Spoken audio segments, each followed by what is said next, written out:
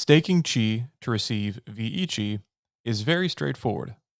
First, go to the vote page on BENQI's website, and then connect your wallet. Once your wallet is connected, click on the Stake option on the BENQI UI. Then, click on Stake and enter the maximum amount of Qi that you want to stake. From here, confirm the transaction on your browser wallet.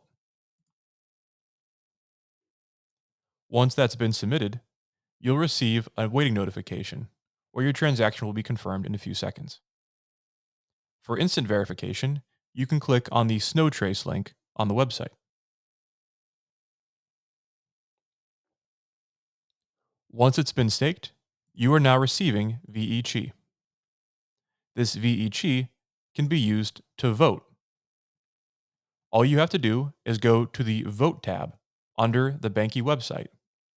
And then from there, you can select the node that you want to vote with your VE Simply select the node ID, click on the Vote option, enter the outstanding vote power that you want to delegate, and then click on Vote. Confirm the transaction on your browser wallet.